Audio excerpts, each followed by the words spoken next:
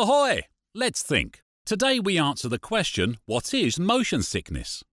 Have you ever felt sick to your stomach, like when you're on a rocking boat or a bumpy airplane ride? Or what about that feeling you get after you've got off a roller coaster? That's motion sickness. First, you start to feel dizzy and maybe even start to sweat. But then it gets worse and worse that you end up throwing up.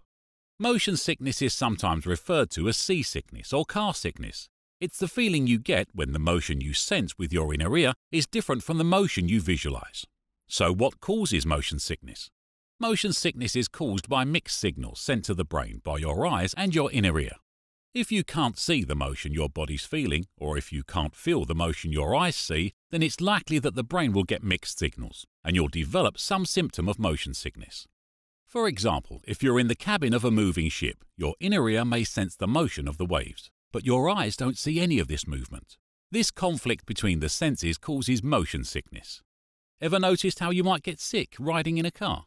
But if you're the driver of that car, you feel just fine. That's because as the driver, you know where you're going and how fast you're driving, so your eyes will tell your brain that information. With technology constantly advancing, new things like virtual reality headsets are being created.